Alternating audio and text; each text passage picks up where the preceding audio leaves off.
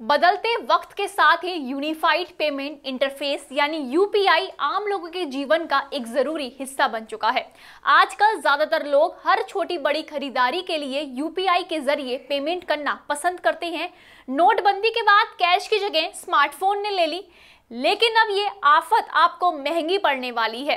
क्या हो अगर आपको पता चले कि एक अप्रैल से यूपीआई से लेन देन महँगा होने वाला है। जी हाँ तो चलिए जानते हैं क्या क्या बदलाव होने वाले हैं। नमस्कार, मैं हूँ Saloni Sarin.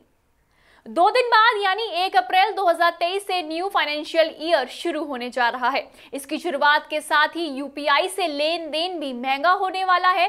National payment corporation of India यानी कि एनपीसीआई ने यूनिफाइड पेमेंट इंटरफेस पेमेंट को लेकर एक सर्कुलर जारी किया है, जिसमें अप्रैल की पहली तारीख से यूपीआई से होने वाले मर्चेंट पेमेंट पर पीपीआई चार्ज लगाने की सिफारिश की गई है।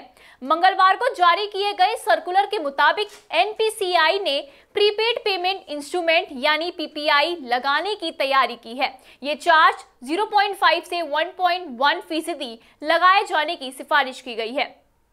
सर्कुलर में यूपीआई के ज़रिए दो हज़ार से ज़्यादा के ट्रांजेक्शन पर 1.1 फ़ीसदी प्रीपेड पेमेंट इंटरफेस यानी पीपीआई लगाने का सुझाव दिया गया है। अब सवाल ये आता है कि ये चार्ज किसको देना होगा? तो इसको लेकर एनपीसीआई की ओर से सफ़ाई आई है। एनपीसीआई का कहना है कि यूपीआई में बैंक टू बैंक लेन देन मुफ़्त होगा। 99.9 परसेंट लेन देन इसी तरह होते हैं। यूपीआई से वॉलेट में पैसे देने पर चार्ज लगेगा, वो भी ग्राहक को नहीं, बल्कि दुकानदार को देना होगा।